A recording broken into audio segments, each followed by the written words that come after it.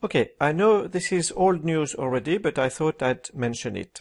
If you go to this EU site here, and I'll include a link in the description below, you can create huge translation memories uh, in any language pair chosen from 23 supported languages.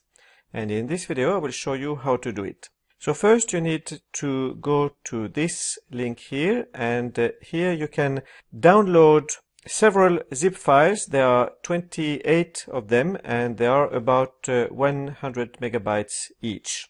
You have to do it one by one. It will take some time, of course, because they are quite big, but once you've done that, you will have your files here, like uh, I have in my case. I created uh, a folder called uh, DGT on my desktop and under that another folder called zip.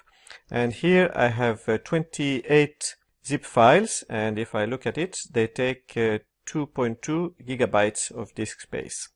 Next you need to download two other files. One is the program files and it's called uh, tmextract.exe and uh, with it there's a library that you can also download and uh, again I've done that already so they are in my DGT folder here and uh, now I'm basically ready to go so I can start uh, the program tmextract.exe.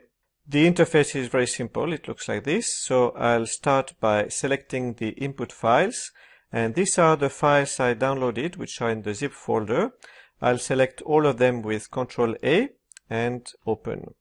Next I'll specify an output file and this is going to be the TMX translation memory I want to create. So I will put it in the DGT folder and I will call it DGT and FI SL because I want to create a Finnish Slovenian translation memory. Save. And now I'll select the source language. So that will be Suomi for Finnish. And the target language is uh, Slovenian. So it's this one. And now all I have to do is press the start button. Now this is going to take a very long time, several hours even with a fast computer, so it's best to launch it in the evening and hopefully the next morning it will be ready. So now we'll make a pause and uh, we'll come back once it's uh, ready. Okay, so now our TMX translation memory is uh, ready. It's uh, quite big, uh, 1.3 gigabytes almost. And uh, basically we can use it in any tool that supports the TMX uh, format and uh, there are many of them. And here I'll use WordFast Classic to show you the content of this file.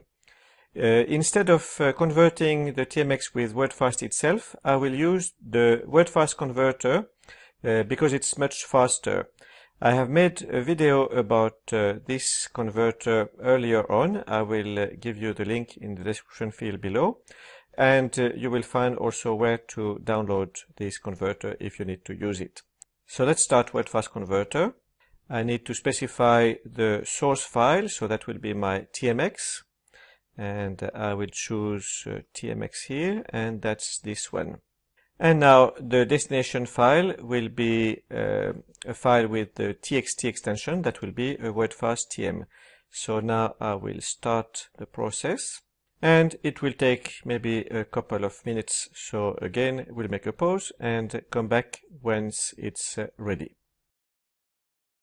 Okay, now the conversion is almost ready. Yes, it's ready and we have uh, uh, a little bit more than uh, 2 million translation units.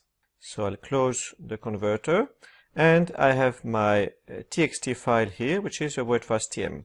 So let's go to Word and uh, let's uh, select the TM that we just converted. It's on my desktop and uh, DGT and it's uh, here. Open. And now I can go to the data editor and browse through the content of uh, that TM. So we have Finnish on the left hand side and Slovenian on the right hand side. Thank you for watching, do subscribe to my channel and see you in the next video.